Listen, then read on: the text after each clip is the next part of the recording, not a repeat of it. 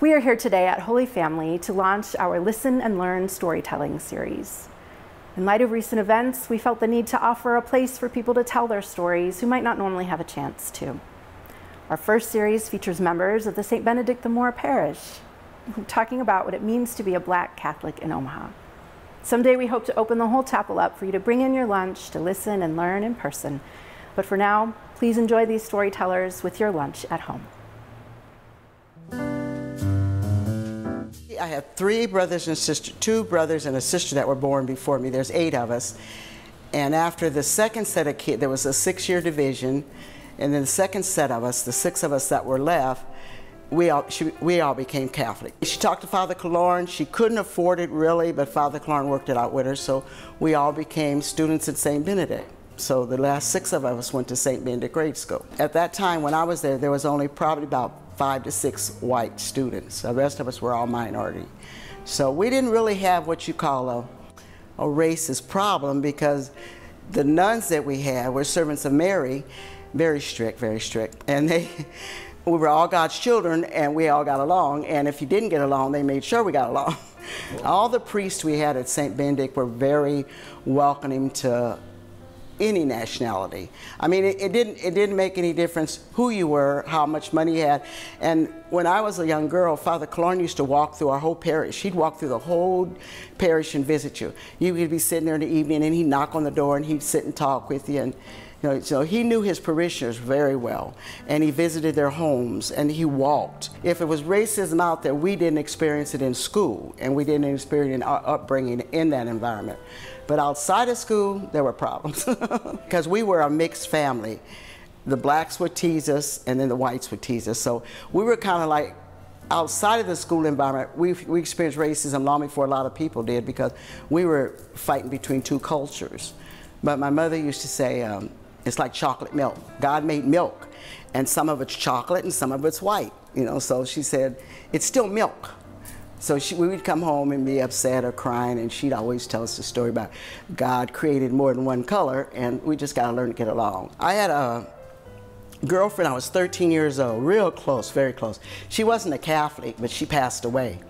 And then at that time, the Catholic Church wasn't open to let you visit other churches.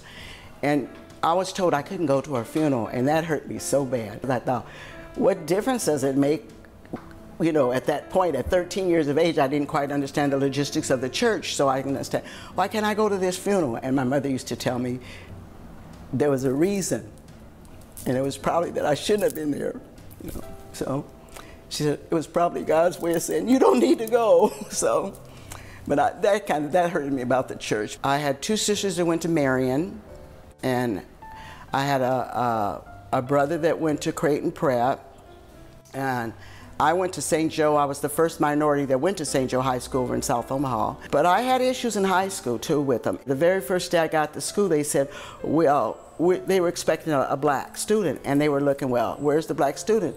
And then, so I guess I didn't appear to be black enough for them, or didn't represent what they thought black was coming. I was a librarian to help pay for my tuition, and I had confrontations with kids in the library all the time. And Sister Corona was my high school teacher. She was a Josephite nun. And she used to tell me, Modwena, be strong, Modwena, be, but a lot of times I was in her office because after so much wording, I had to let loose. And I was always taught to express what you want, like it or not. I have the right to say it. You don't have to believe it, you don't have to, you know, follow it, but I have the right to say it just like you can say what you want to say. And that's when I would get in trouble. the Catholic Church has issues among this, the teaching and, and actions. I think words, words don't speak as actions do. One of the priests that I was in a conversation with in a round table at the Archbishop office, we were in a group discussion. I was on the, on the group that closed schools and shut down churches and stuff. And he made a comment right there in front of me. I don't want any of those people from St. Benedict at my church. That to me was uncalled for. It's his opinion, he had a right to it. But it was at the place where we're working to decide whether to keep churches open or you're going to make that when there are black people in this parish, there are blacks at the church, that offended me very badly. Well, at the time, one of the higher priests was there. Brother William, to be exact, got up out of his seat, came over and sat beside me and said, Madrina, Maduina, he, Maduina, he, even knew that was wrong at that time. I had a confrontation once, it wasn't a confrontation, it was a talking conversation with the Archbishop. And I asked him, I said, I don't want to say this, but I'm feeling that this conversation is racial. And he and I says, you look at when when we come out there with a problem, you don't look at us as a people with a problem. You look at us as a black. Here's a black community with a problem. It should not be that. I, I was born black. I'm going to be black all my life. But I, I walked into the Catholic Church and I want to be treated like any other Catholic anywhere else. And sometimes that doesn't come across in Catholicism. And and a lot of it is with the priest. Excuse the way I'm going to say this, but priests take authority. They don't have any authority, but they take authority. They're there to teach me the concepts of the church and to put those into play in the faith of that church. They're not there to authoritize themselves or say what is right or wrong because the Catholic Church is a very strict, adamant church with strict principles and policies and procedures. And when you can take a priest or 10 priests and change it to the way you feel today, it's wrong. I've been a Catholic since my birth. I'm 77 years old. And that is not what I'm getting out of the faith that I've, and I also now, I went through five years of Creighton University through a Master's of Ministry program. So I understand my church a little better than the average Joe sitting in a pew. I've also, you know, I'm a lay ecclesial minister. I understand a little bit more about where I should be and what I shouldn't. My ministry is going to be different from yours as a Catholic because of where I was raised, where I live, what I'm accustomed to. It's, a, it's the Catholics, but I have a different outlook on certain things because of how I lived it. Because I see both sides of it. Now, like I said, my father was German. I learned we learned, I have a little bit of his culture. My mother is, Cherokee Indian and black, okay? My grandmother, my, my father's mother was Irish, Irish and German married together, I got that. And then my mother's Indian and black. So I have a lot of cultures infused in me, and I see it from a lot of viewpoints. I, I see it like this. Um, God made me a unique individual. I'm not you, I'm not him, I'm not anybody else, I'm me. And God gave me a certain personality, and He says, be true to that personality. He didn't tell me when I'm, when I'm around you, act like you, or be like this person. He said, be yourself, be true to who you are. I'm true to my, who I am as a person, and I'm true to my faith. Now, I believe in the Catholic Church strongly. I've had problems with it, and I've dealt with those problems, but I, I, I wouldn't leave my faith, but I think my faith needs some adjustments. I think some of the leaders in my faith need some adjustments because because I made you the president doesn't mean you know it and I don't. Because you run the church and you get paid to run the church and I just come to mass. I don't have a say so. That's not right. This church was built for me just like it was built for you to run. You're the administrator. I'm the participant. Without me walking in that door, that church wouldn't be there.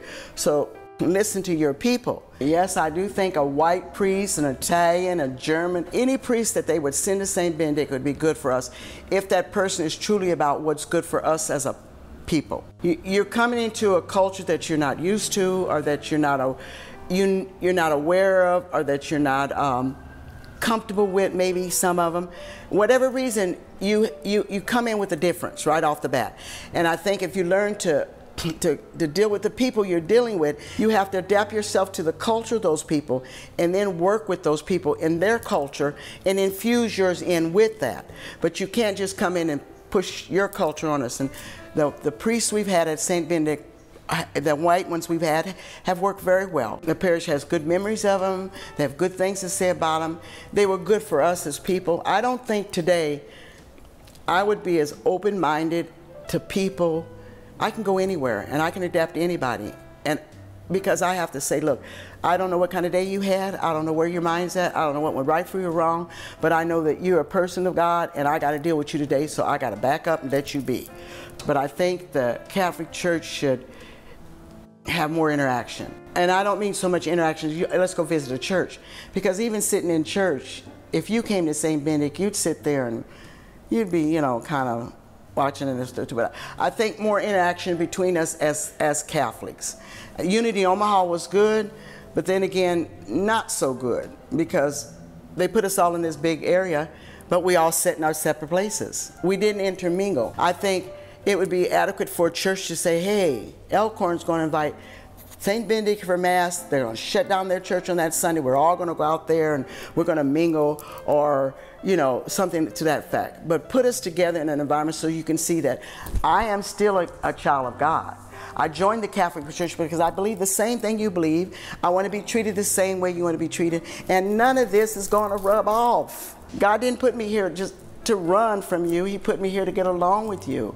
And I'm not saying I have to marry you, have children with you, or go to dinner with you, but accept me because I am one of God's children. I might look different, I might be different, but I'm still one of His children, and you are too.